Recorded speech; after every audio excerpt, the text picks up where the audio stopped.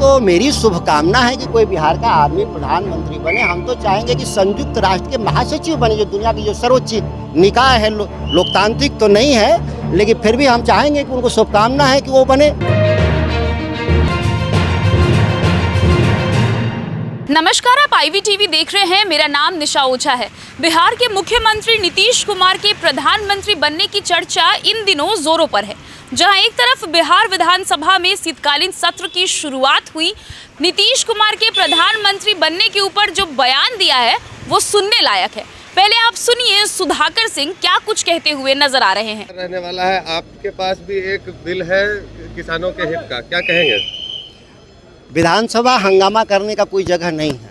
विधानसभा काम करने का जगह है, जो इस बिहार के साढ़े तेरह करोड़ तेरह करोड़ आबादी का प्रतिनिधित्व करता है। ऐसे में हम बहस चाहते हैं कि बिहार के किसानों के हक में बहस हो। इसके लिए मैंने जो बिल प्रस्तुत किया है, मुझे अनुमान है कि ज़रूर बहस होना चाहिए इस पर। एक बात पता है सर, कि अभी कई बार काफ़ी बात हुआ करती थी कि चाइना ने आँख दिखाई, उसको वापस आँख दिखाई गई। अभी एलएसी पे तवांग में फिर से चीन ने आँख दिखाई है, क्या कहेंगे? अभी जिस सवाल पर है हम यहाँ खड़ा हैं। यह बिहार विधानसभा में हमारे पार्टी के जो वरिष्ठ प्रवक्ता हैं या हमारे नेता जो विधायक दल के तेजस्वी जी इस सवाल को बेहतर तरीके से वही इसको बता सकते हैं। सिमडेगा में झारखंड में एक मामला सामने आया है जहाँ एक इमाम पर आरोप है कि उसने बच्चे का रेप किया। हालाँकि उसकी अरेस्टिंग हो गई है इस पर क्या कहेंगे? हम आज बिहार विधानसभा के सत्र में उठने वाले सवालों को लेकर आए हैं।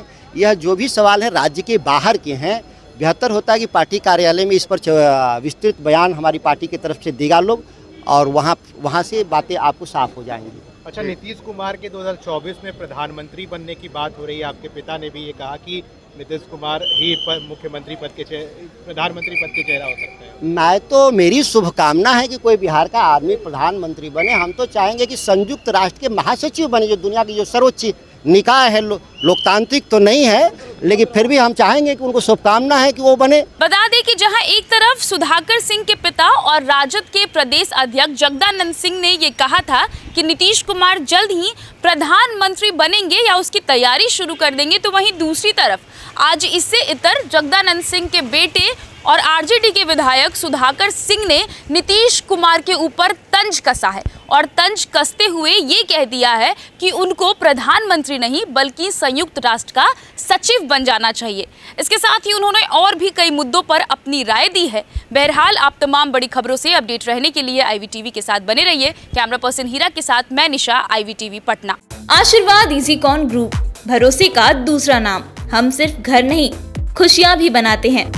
आशीर्वाद रोज वैली, जिसमें है premium flats with all modern amenities Patna में लेना चाहते हैं अपने सपनों का आशियाना तो कीजिए हमारे इन नंबरों पर संपर्क।